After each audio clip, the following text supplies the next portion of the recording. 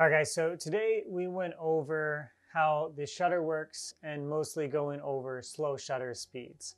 All right, so what I want you to do now is you're going to go to your app store and you're going to download the Lightroom mobile app. All right, once that downloads, you're going to open it and then it's going to ask you to log in. You can go ahead and use your student email or a personal email. That is totally up to you.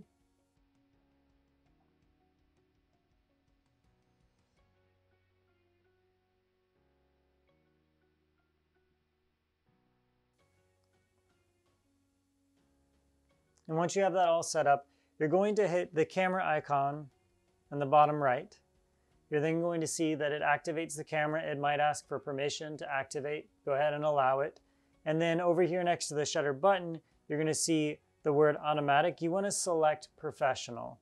Once you select professional, you're then gonna be able to see that we can control the shutter speed and the ISO. Right now, we're just gonna be worrying about the shutter speed since that's the project we're currently working on, okay? So you can see that you have the fast shutter speed over here, and then if you look all the way to the right, you have it all the way down to one second, okay?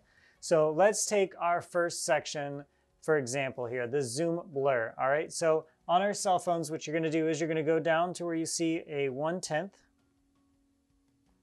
And again, you're gonna see the, again, you're gonna see the shutter speed right here. So 1 sixth of a second.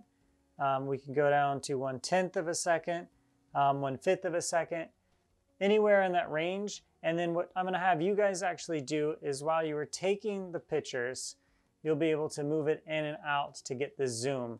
Um, in the classroom, we're going to use the cameras and we'll actually zoom in and out with the lens, but for what we're doing here at home, you'll go ahead and use this. Um, on a side note, you'll want to make sure that you also have your ISO set to auto. And that way we're only worried about the shutter speed, okay? Um, and then what you're gonna do is you're gonna go ahead and press the shutter speed and you'll move in and out while you're taking that picture, all right? And that'll get you your zoom blur. All right, the next group that we're working on is gonna be people moving around, but you wanna have everything stable. Okay, so you're gonna find somewhere where you can hold the camera steady, that way it doesn't move. You can set it on something, and again, this shutter speed is gonna be anywhere from 1 10th of a second to 1 30th of a second. What I want you to do is experiment a little bit with a couple different slow shutter speeds. That way you kind of see what works best for what situation. Do you need more motion blur happening or do you need less? So you're gonna experiment with those. So again, you'll hold it steady, set the camera down, and then you'll take your pictures. And anything moving in front of the camera will end up blurring while everything else stays nice and sharp, okay? If you turn in a, an image where everything's blurry, that's bad camera shake. You wanna make sure that you hold your camera steady, okay? And the last part we're gonna be working on, which is part three of this, is gonna be panning. So that is where you are actually following your subject. So whatever speed your subject is moving, you're gonna move with them. So whenever you follow somebody, you'll take the picture and follow them, take multiple pictures as they're walking by.